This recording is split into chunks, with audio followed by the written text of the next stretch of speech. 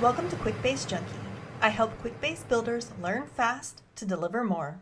Hello, my QuickBase Junkie friends. I recently released a video on how to set up and install the new Gantt chart plugin. And there have been two questions that I've been seeing repeatedly asked around this new plugin. The first is, do I have to use the app from the App Exchange? And the answer is no. You can add the Gantt plugin to an existing project management app.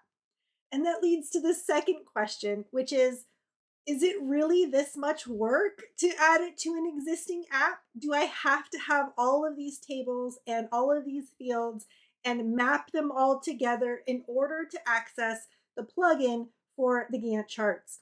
And the answer to that is yes.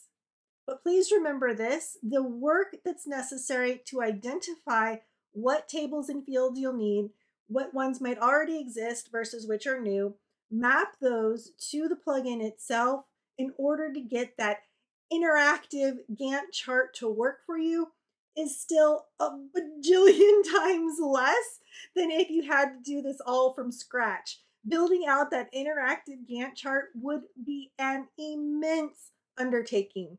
And if you're in a business account or an enterprise account, it's already there for you, but there will be some work to be done.